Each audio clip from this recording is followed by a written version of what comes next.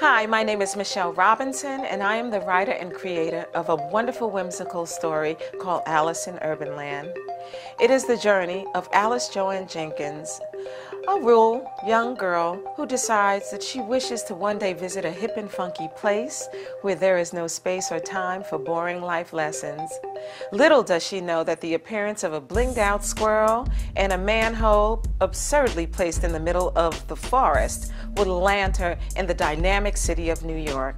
It's from there that her journey begins. Now, I'm not going to tell you anymore, but if I were you, I would check out Alice in Urbanland at aliceinurbanland.com. Hope to see you in Urbanland. Bye.